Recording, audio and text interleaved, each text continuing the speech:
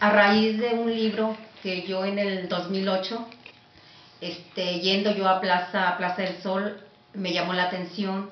Es un libro de, que está escrito por Fernando M. González. Este, me llamó la atención por el simple hecho de que decía Marcial Maciel, legionario de Cristo.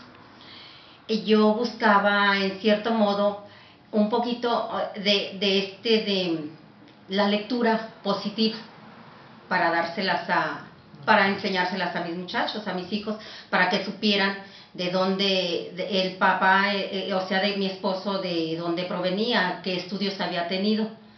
Este, y a raíz de que yo empecé a leer ese libro, me di cuenta de la realidad de lo que él en años anteriores, en el año 97, un poco antes de que él falleciera, me platicara respecto a lo que él vivió dentro de esa congregación. Pues eh, eh, si, si se han de preguntar que el por qué hasta ahora estoy dando a saber estos hechos, es porque el joven, el niño era, tenía 13 años cuando él eh, entró a esa congregación en el año del 53, el cual él, él este, tenía pues era una educación muy diferente a la que llevan ahorita en la actualidad los jóvenes, los niños. ¿Por qué? Porque eran más sanos de mente.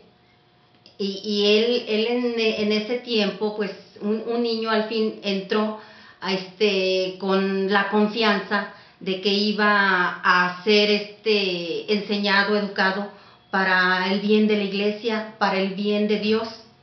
Sí, él sí tenía vocación él sí tenía vocación a, este, bien firme. Eh, en, ese tiempo él tenía pues 13 años cuando inició, ya siendo adolescente, este, en ese tiempo la, el, el, amor, el respeto hacia sus superiores era, era, era pues absoluta de alguna, de alguna manera. ¿Cómo le llamaba él a Marcial Maciel, su esposo? Este... En las cartas que escribe, por ejemplo este, el, Santo Padre. El Santo Padre, eh, por cierto, hay algunas cartas que el día que, que, ustedes quieran yo se las puedo se las puedo mostrar y no es una, son, son varias. Él, ahí demostraba él el amor, el aprecio, el respeto que, que eso conllevaba desde el momento en que entraban a, a esa congregación, los cuales eh, este, este, eh, se regían por una constitución de obediencia pronta y ciega. ¿sí? Esa era su, su lema, el lema de, ese es, el, ese es el lema de los legionarios de Cristo, lo cual eh, de que si le dicen haz esto, eh, era cualquier, cualquier cosa que le mandara su, el, superior. el superior era obedecida de inmediato, sin objetar, sin, sin este sin poner en duda la, ni cuestionar lo que se les pedía. Si yo estoy haciendo esto es porque sí me ha dañado, este, moralmente me ha dañado el de, el de que en este, a raíz de lo que se ha ido, ha ido dando respecto al comportamiento negativo que tuvo Marcial Maciel degollado, con el trato que le dio a tanto joven que en su ingenuidad como niños que entraban, este, pues fue fue pues en cierta manera fue negativa, negativa el comportamiento que tuvo él con su con su gente, con sus seminaristas, con los jóvenes. Y, y pues yo la verdad no estoy de acuerdo en que precisamente el libro, eh, el, libro que yo le hago mención al principio de esto, habla respecto a, en ese tiempo, en el 61, en el año del 61 andaban por allá en España. El padre Marcial Maciel mandó a los jóvenes, jóvenes en ese tiempo, eran tres, entre ellos mi esposo, a, a este, a conseguirle este, un medicamento que a la fecha yo sé que es droga, la dolantina.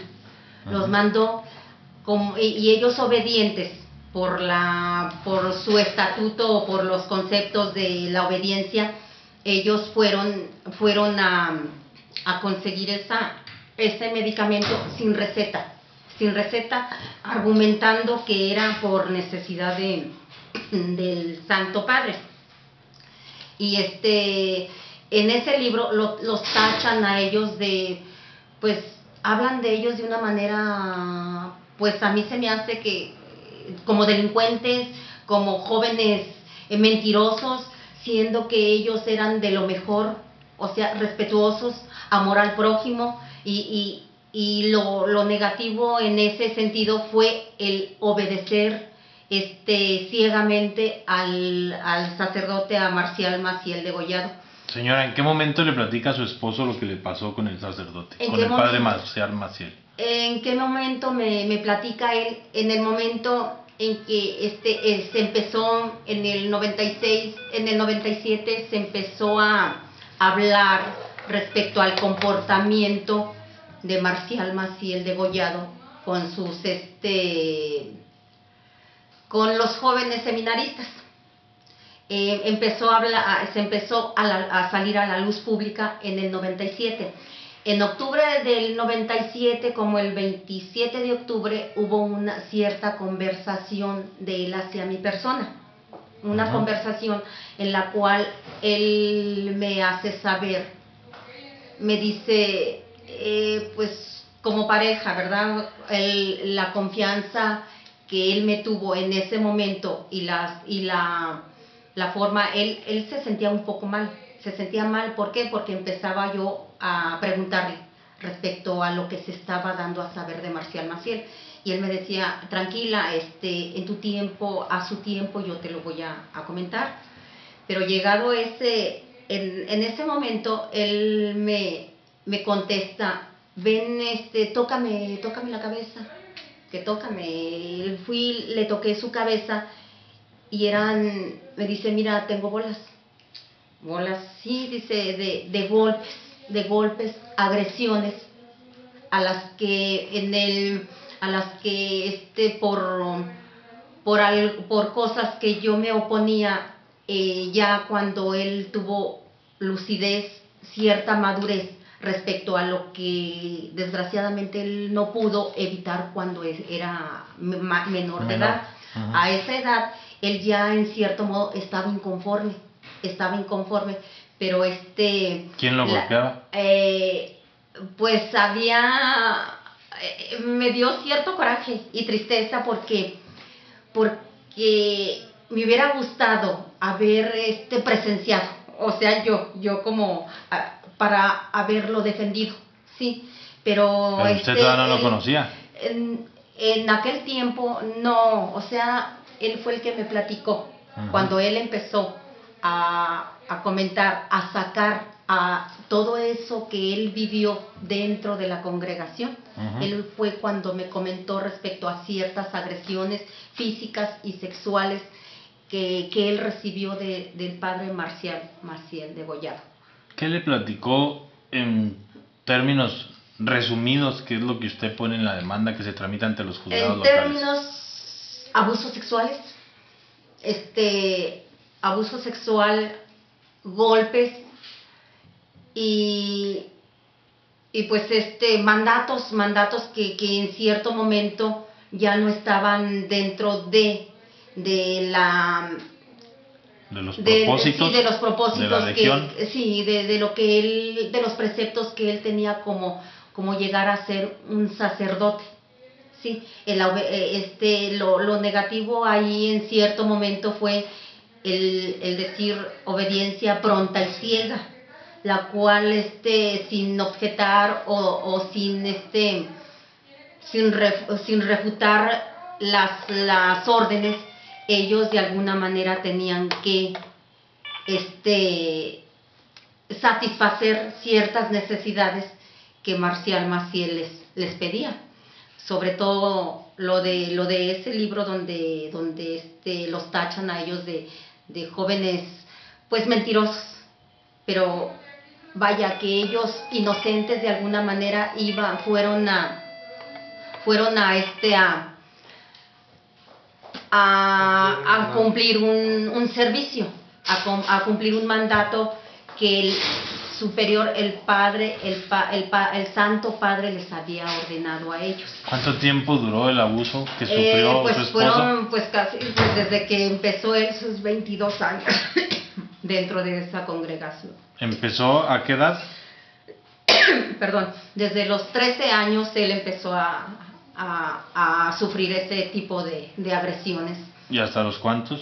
Hasta los 22, hasta lo... Duró 22 duró años. 22 años, sí, hasta los 20, 25, 26 años. él. ¿Qué quiere decirle usted a la Iglesia Católica y a la sociedad, señora, respecto de esto? Eh, Pues yo, yo sé también de que en su tiempo hubo personas que aún viven. Yo sé respecto a esa, a esa situación de que demandaron, hablaron en su tiempo, mas no fueron escuchados, no fueron este, no, no les creyeron, los tacharon de mentirosos. Y en cierto momento, este, quizás eso influyó para que mi esposo mejor guardara silencio. ¿Por qué? Porque él, a pesar de ciertas de las agresiones que, su, que a pesar de las agresiones que sufrió, este, él tenía la convicción de ser sacerdote. ¿Qué pide usted, señora? ¿Qué pido yo?